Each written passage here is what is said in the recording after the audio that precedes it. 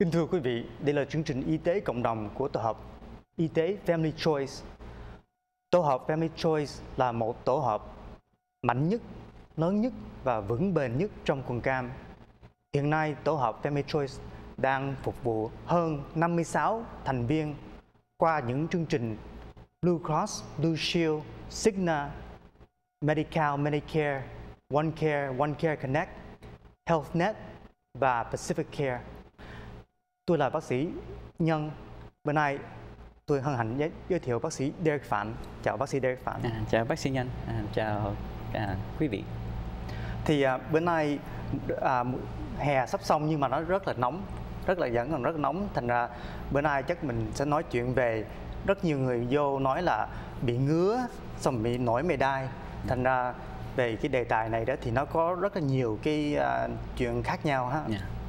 Yeah, thì ngứa thì thường thường bệnh nhân vô xin thuốc uh, ngứa cam bôi ngứa. Um, thì bác uh, Derek chỉ muốn nói một vài lời về mấy cái kem bôi ngứa. Um, cái thường thường cái cream cái có hai loại cái cream như vậy cái ointment. Uh, cái cream thường thường nó là màu, màu trắng mà nó uh, đục. Còn cái ointment thường thường nó trong trong hơn với lại nó nhất hơn. Thì thường thường cái ointment nó nó mạnh hơn. Uh, với lại cái mấy cái uh, kem bôi ngứa nó có cái potency là cái sức sức mạnh sức, sức mạnh, sức của mạnh nó, của nó. Dạ, cái từ mạnh. một là mạnh nhất dạ. và bảy là cái nhẹ nhất um, cái cái mạnh đó, một loại một đó với lại mà bảy nó không có là tùy nó không có phải là tùy theo cái uh, phần trăm. Bởi cái, cái thuốc giống như cái clobetasol ừ. 0.05 phần trăm á thiệt ra nó mạnh hơn cái thuốc giống như là hydrocortisone 2.5 phần trăm hay là một phần trăm hay hai phần trăm gì. Thì bệnh nhân vô kêu tại sao cái bác sĩ cho cái thuốc là nhẹ hơn? Mà thiệt ra nó không có nhẹ hơn thì cái phần trăm đó nó không có nặng hay nhẹ. Nếu mà cái thuốc loại thuốc đó nó khác. Um, cái điều thứ hai Derek muốn nói về mấy cái cream um, ngứa đó là bệnh nhân cứ ưa vô đòi cái uh, hay là bệnh nhân nhiều bệnh nhân muốn cái nặng hơn nhưng mà cái nặng hơn cũng không có nên xài nhiều là tại vì cái nặng nó càng cái thuốc nào nó càng mạnh á, thì nó sẽ càng có nhiều phản ứng phụ như side yeah. effect thì nếu mấy cái uh, cái cream mà ponsin cái mạnh á nó có thể làm cái da nó mỏng đi ừ. uh, có thể làm ra mụn rồi có thể làm đỏ rồi có thể làm nhiễm trùng rồi cái nhớ bị nhiễm trùng nấm hay nhiễm trùng ừ. cái bacteria gì á thì cũng, thì cũng không nên xài vậy nếu mà xài lâu dài á thì nó cũng có thể um, hại tới cái um, cái adrenal dạ cái yeah. cái tại vì cái cái steroid đó nó cái là cũng nó bị cái cái chất nó là tiết ra từ cái gland adre, adrenal, adrenal gland, gland. Yeah. thì mình mình xài cái chất đó nhiều thì cái adrenal gland nó tắt đi yeah. Dạ. uh, tại thì... nó tại nó cái, cái cơ thể của mình nó tưởng là mình đương tiết mình đã mình mình bôi cái cái cream mà tiếp lời bác sĩ uh, Derek nói đó thì mấy cái cái cream này đó hay là mấy cái ointment này đó nó là cái steroid cái steroid là trong cái cơ thể của mình đó ở trên cái cái thận của mình nó nó có một cái à, bộ phận nó, nó tên là cái adrenal adrenal gland. Nó tiết ra cái mấy cái steroid này. Nhưng mà cái cơ thể mình nó không biết đó là nếu mà mình bôi vô mà nó thấm vô máu mình đó thì cơ thể nó tưởng là mình tiết ra nhiều quá thì nó sẽ không tiết ra nữa. Thật ra mấy người mà uống thuốc steroid hay là bôi thuốc steroid lên nhiều quá đó thì cái, cái hiệu quả đó là sau khi lâu ngày đó cái adrenal gland nó sẽ tắt xuống nó sẽ bớt tiết ra yeah, nó bớt tiết ra thì nó có thể bị uh, áp huyết thấp ừ. rồi muối thấp rồi da nó khô đen, dạ. thôi đen đen hơn nha dạ. thì dạ.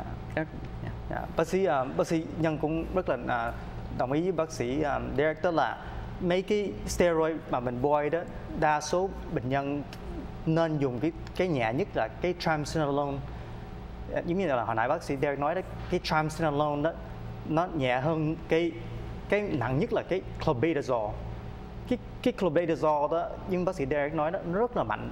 Mà cái cái cái cái phần trăm của nó đó có nhiều người nói như bác sĩ Derek nói đó có nhiều người nói tại sao mình cho cái clopidogrel ờ, không à, chấm chấm không năm mà cái triamcinolone là à, chấm one percent ờ, giống như bác sĩ Derek nói đó cái clopidogrel nó rất là mạnh hơn là cái triamcinolone. Thành ra mình luôn luôn dùng mấy cái thuốc nào nhẹ trước đã nếu mà nặng quá đó thì mình mình mới tới cái clobetasol ha Yeah. miễn sao nó có FM miễn sao nó work Dạ. là dùng cái nhẹ nhất mà nó vẫn có FM vẫn work Dạ. thì cái đó là tốt nhất Dạ. và xài thì xài khi nào hết thôi chứ đừng Dạ. có không có nên bôi à, không không nên nếu mà không có bị gì thì đừng, Dạ. đừng có bôi lên cho nên bữa nay mình tiếp tục mình nói là à, mùa hè là mà nóng đó thì à, mình chảy mồ hôi ra nhiều xong rồi à, có nhiều người à, bị một cái bệnh nó gọi là scabies là cái bệnh ghẻ phải không bác sĩ Derek?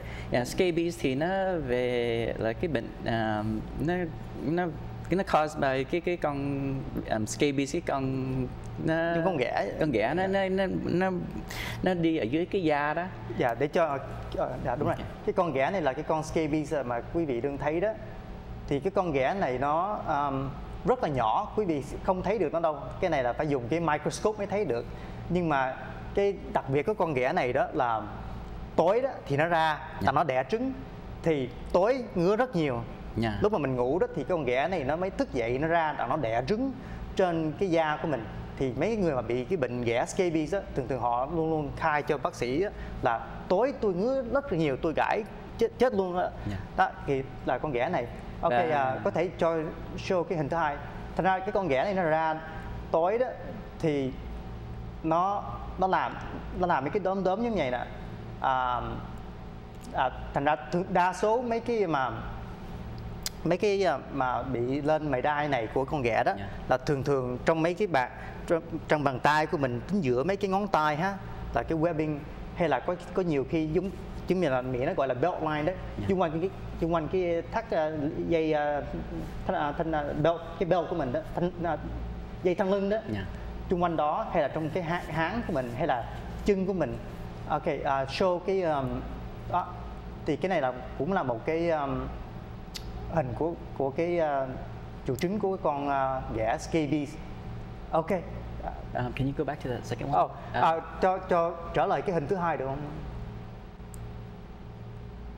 Cái hình thứ hai ở trên cái ở trên cái top á thì nó có cái burl á thì cái đó là cái classic của của cái con scabies tại vì giống như mấy bác sĩ nhân nói á, cái thường thường cái này là bị dị ứng cái con scabies hay là dị ứng cái trứng hay là cái phân của nó. Thì bây giờ nó đi theo cái lằn đó uh, mà nó đẻ trứng hay là nó nó, nó, nó nó có cái phân của nó thì nó dị ứng chỗ đó thì nó cái cái burl đó là cái classic của cái uh, uh, scabies. Vâng. không you don't have to have it không thể không, không phải bắt buộc có nhưng mà nếu mà thấy cái đó đó thì có nghĩa là cái classic là sca- yeah, Dạ. classical scabies à, bác sĩ bác sĩ Derek nói rất là hay à, bác sĩ nhân quên về cái chuyện này bác sĩ Derek nói cái đề tài rất là hay là cái cái này là mình nó gọi là pathognomonic cho nghĩa là thấy cái này là mình biết chắc chắn là scabies Dạ, phải không thành dạ. ra bác sĩ Derek cách nghĩa nó theo cái cái lằn à, cái burrow Dạ, phải không dạ. dạ và cái bệnh scabies nó khác vì cái bệnh lice. Lice thì cái đó thường thường bị ở chỗ nào mà có cái uh, tóc hay lông. Um, thường thường uh, con nít đó thì ưa ờ, trường học nó ưa gửi về nó ờ, y tá trong trường học nó kêu là thấy mấy cái trứng ở trong trắng trắng ở trong cái tóc và người lớn có thể là cái bệnh à, những cái bằng sexually transmitted disease có thể bị, bị ở chỗ chỗ háng những cái mấy cái à, tóc ở dưới háng có thể bị à, thì cái đó nó khác à, hai cái nó cũng là mấy cái con máy mấy cái con lice nhưng mà nó khác nó khác cái con con này Dạ. Dạ. À, để để mình nói về trị cái con à, à, ghẻ này đó à, số nhất đó là à, quý vị phải về nhà lấy tất cả mền gối quần áo dắt à, à, à, giặt nước nóng hai ba lần. Xong rồi đặng giết cái con này. Cái cái con này nếu mà mình không có giặt mà mền gối hay là quần áo của mình đó thì nó nó cũng Đi trở lại. nó đi trở lại. Thì lúc đó mình phải giặt. Còn nếu mà quý vị giặt xong mà cũng chưa chưa có đỡ đó thì có thể lấy mấy, quần áo bỏ vô một cái bông một cái bao ni lông cột lại để nó cái chừng hai tuần. Tại tại cái con con ghẻ này đó con scabies nếu mà nó không có cái máu nó không có cái người cái ờ, máu hay là da của người ta đó nó sẽ chết. À, với lại một một phần nữa là cái con ghẻ này nó khác.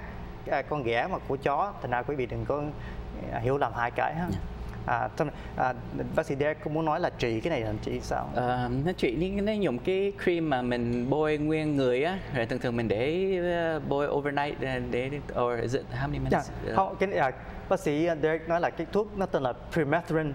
Cái này đó à, đó à, theo tôi à, chỉ bệnh nhân dùng đó là à, trước khi mình đi ngủ đó mình massage nó. Cái này không phải chỉ bôi thôi cái này mình phải massage nó vô mấy cái chỗ. Thường thường mấy người mà bị ghẻ mà scabby là mấy cái ngón tay ha với lại mấy cái háng hay là có nhiều khi bị xung quanh đây ha thì tôi tôi khuyên nó lấy cái cái thuốc permethrin đó. Cái đó mình phải massage nó vô rất là cái chừng 5 10 phút.